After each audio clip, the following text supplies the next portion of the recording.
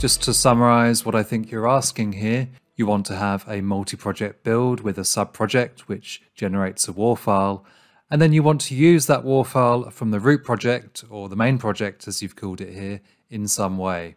Now, before we get on to the solution that I've created for this, I just want to pose the question of whether you really need to consume this WAR file from your root project, or whether you could just simplify your approach.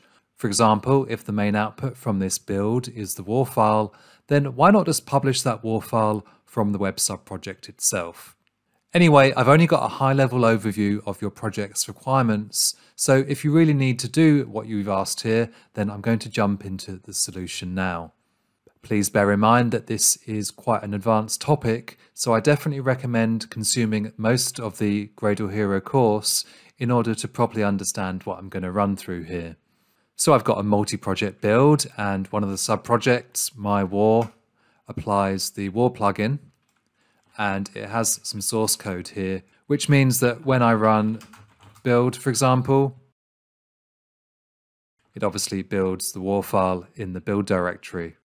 So what we want to do here is in some way consume this war file from the root project. And here's one recommended approach which we can use to do that.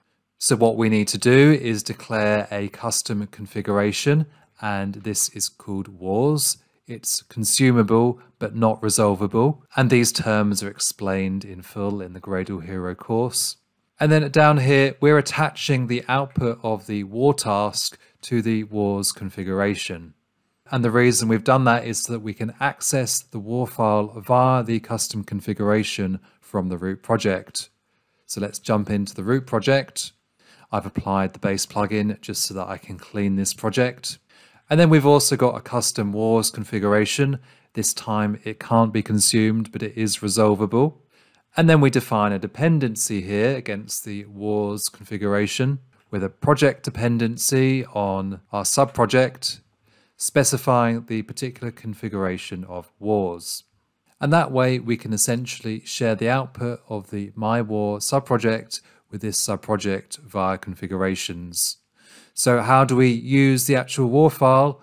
Well, here's an example where we're going to copy it into the build directory and here we specify the from as the configuration and it automatically will copy that war file.